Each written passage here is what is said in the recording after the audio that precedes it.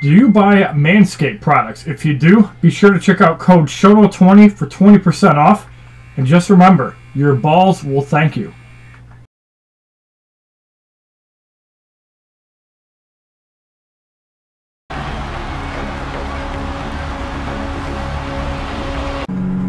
Ladies and gentlemen, boys and girls, shouldn't of all ages, Hollywood Shono here, about to give you another Mortal Kombat mobile video, and I'd like to thank John Shenburn for cutting grass in the background. I don't really care, because I want to make a video for you guys. So today's video, we're going to be talking about the Reaper's End gear item.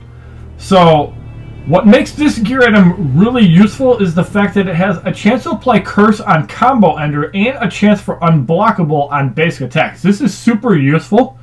Although for some reason I've seen it happen where spears appear to be blocked and it actually connects. We'll see if we can duplicate this. If it's anything like Classic Scorpion pulling people in over 90%. But critical hit chance boost also amazing. You don't need that for this gear to be good. So you get a massive damage boost in Tower of Horror. You get a really good health boost in the weapon slot. I really praise Tower of Horror, by the way, even though it's a reskinned uh, Shao Kahn's Tower. I really praise this event because it introduces some of the funnest gear in the game. Now, granted, you can buy this gear for real money. You can also farm Tower Horror and get the gear for free. So, in fight number 135, we have Elder God Kenshi, Cobra Ops Cassie Cage, Shirai Ryu Takeda. I found it Enraged to be one of the most challenging uh, modifiers. I don't know how you guys feel about that. Let's get in Infernal Scorpion. You can see the massive damage that he's able to put out. We are using the Bone Claw and Witch's Ward as well. We probably should not have tried blocking. Because we'll just take damage. Alright, so there's a spear that appeared to be blocked, and it went through. Alright, so there's Ops Cassie Cage. That's going to do decent damage to Scorpion. There's a block. And you can see, again, it went through the block. So I'm not sure how that calculates, but you can use Reaper's End kind of like block breaking specials. Even though you're only supposed to be able to do basic attacks, I have a feeling that it works on all attacks. I don't know if this is a bug, but even without it, it's still a really good gear item. Now, you guys have seen me clear Tower 200 with an unupgraded Reaper's End. Uh, yeah, it's a great gear item for plowing through enemies, and it's great for the fights where you only have one, because it's going to give you a lot more survivability. Having health in a weapon slot, and even without the Tower of Horror bonuses, there's no shame in using gear with unblockable on basic attacks, and even Curse on combiners just to do more damage to your opponent. There you saw a block breaker on Kentaro. And yeah, that's useful for extra damage. Here we're going to block. Kentaro's gone. Piercing Mileena comes in. We're going to spear her down. That's going to hit for 37,000. I've had spears crit for over 100,000 using Reaper's End. So Kenshi does get to a bar. Let's throw off another spear. He does block it. And once again, uh, there's a 130,000 damage spear. Through a block, Elder God Kenshi gets decimated by Reaper's End. So again, I don't know if this is a well bug, done. but I have a feeling there's a secret thing with Reaper's End that either if you hit over 90%, you're going to block break, or there's something else behind it. I'm not sure. It's pretty dang cool. Alright, so next up in Tower 137, again, this is another scenario where having the Tower of Horror gear is great because you have Witch's Ward that gives you a massive health boost and a toughness boost and high resistance to fire, which you probably don't want that mechanic with Mortal Kombat 11 Jade because you actually want to gain power and health. But I think it works just fine. The Bone Claw also gives a health boost, so you can see that even a Fusion 6 Infernal Scorpion damage is going to tickle off him since he probably has over 100,000 health. So we could be tagging in and out between Mortal Kombat 11 Scorpion and Infernal Scorpion, but the point of this video is to show off Reaper's End. So there's the more damage from critical hits. Scorpion doing a little fire damage. I really like Hanzo Hasashi Scorpion's combo. There was another block breaker. That one was not blocked. Hits for 38,000. We got a lethal shot there. Down he goes. Alright, so let's see if we can test this block theory. There's a block. Yep. I'm really wondering if that's how it works. I'm going to block the special one. Alright, so let's try it again. He does not block that one.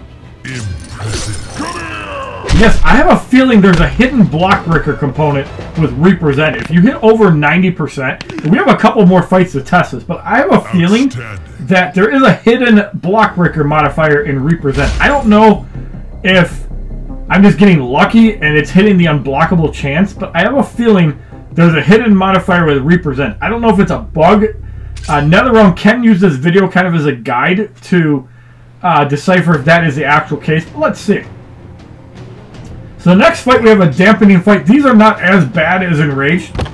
We do want to take out Ravenous Mileena as soon as possible. We do have to deal with Aftershock Tremor as well, but that'll probably pull Jaded. So you can see Reaper's End 20,000 damage on a basic hit using lethal attacks with the Reaper's End. Alright, so we're nearing a bar. Let's not get off a block broken attack. That one is not blocked. So Vengeful Chinook takes a 57,000 damage hit. There's the weakest link into Jade. Stun gets resisted because I put the Gladiator mask on her. Just to deal with Dark Emperor Liu Kang a little bit better when we deal with him. So there is Scorpion about to block Aftershock Tremor from doing special. He did hit 90%, and he's burning under a bar. So Scorpion doing some work. Let's see if we can get to one bar. Scorpion's at one bar.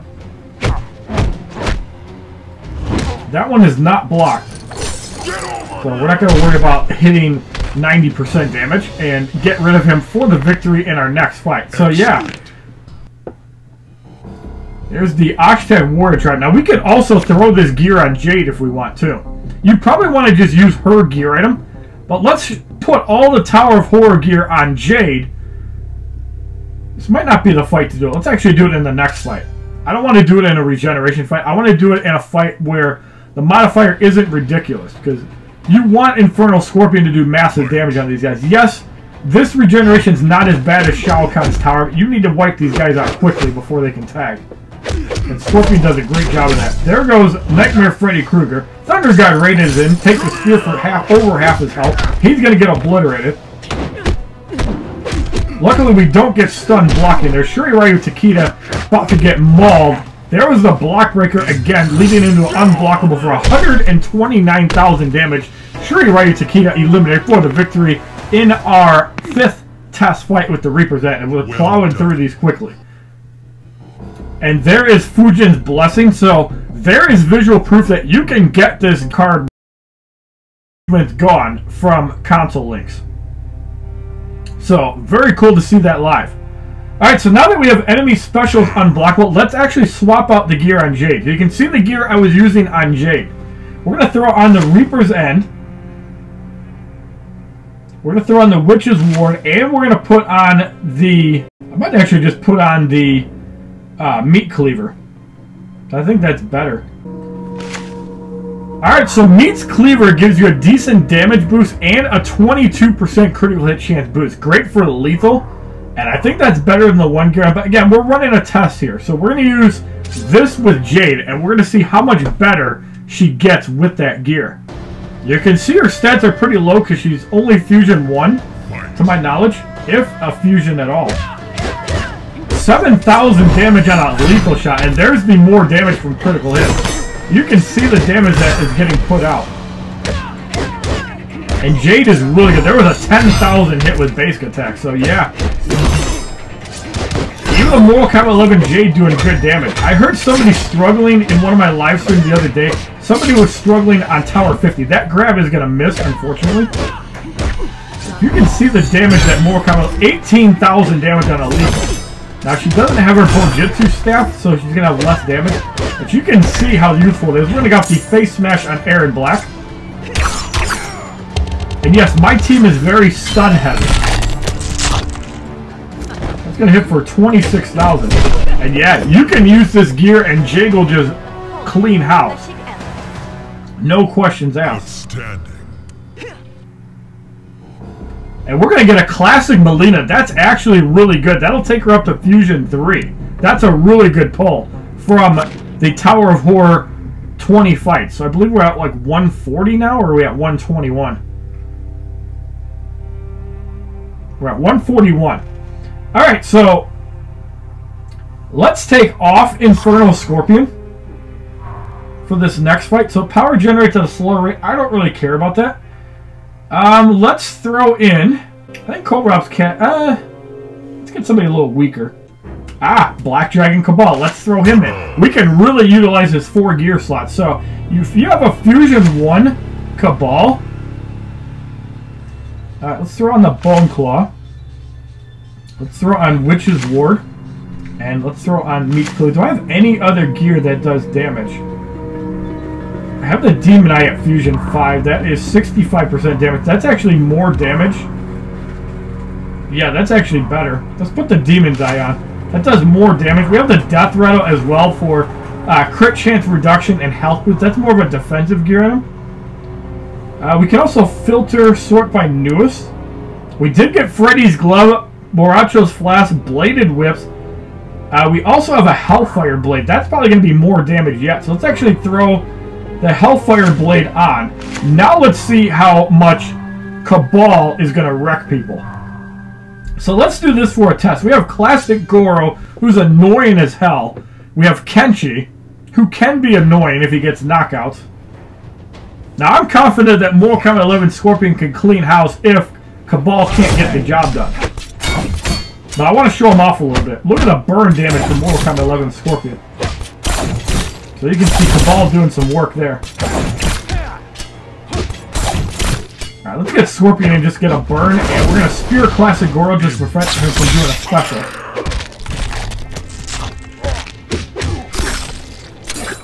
You can see, even without gear...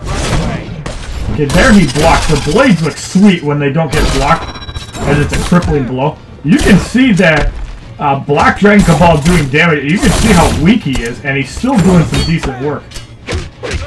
Alright, Kabal not quite at a bar. Let's see if we can get that unblocked shot. I want to see the uh, crippling blow for you guys. There's the spear. Unfortunately, block. Goro comes back in. We got a block. The Shokan Slam is a block breaker. Might be in a little bit of trouble here. Scorpion not quite eliminated. We need to get him out. He might need him. Alright, so there's another block. Goro's about to go down. Wow, Goro doing some work. We might actually lose this fight. Kabal almost goes down. Alright, so that's actually good. Ninjutsu Scorpion comes in. I kind of want to block him from tagging out because Kenshi is actually kind of low too. I'd love to eliminate him. That's going to hit for 11,000. Now keep in mind, Jade does not have any gear on right now, so this might be a little bit harder. There's the block tagging. Let's see if we can get that crippling blow now. Yes, we can, most definitely. So, we're going to fire it off, get rid of Ninjutsu Scorpion in style. That looks amazing. He's going to go down. Elder God Kenshi comes in. We have to be a little bit careful. So we need to disable him. The first one is blocked. It does put him under two bars, but we need to get him out. There's the spear a little bit early. It does connect, so he's going to be able to get disabled. That's exactly what we need. So there's Goro. The Meat Cleaver finishes him off for the victory. So even if you have a weak Elder God or uh, Kabal, Outstanding. you can still do work with Black Dragon Kabal. I don't know why I said Elder God Kabal at first, but there you have it. How good is Reaper's End? If these fights haven't shown you that Reaper's End is a great gear item. Now, granted, I have other gear items combined. Granted, diamonds do have the advantage of having a fourth gear item. But look at how weak Kabal was. Kabal has 8,000 damage and 10,000 health, and he was actually holding his own in Tower 141.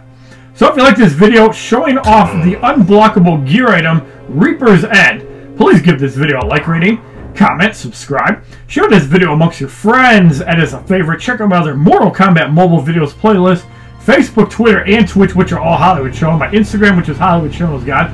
Please leave a comment down below how strong your Reaper's End is, or just tell me about how strong your other gear items are. Leave your comments down below. Thank you for watching. Have a wonderful day, kids. www.youtube.com slash Hollywood Shono. Subscribe, bitches!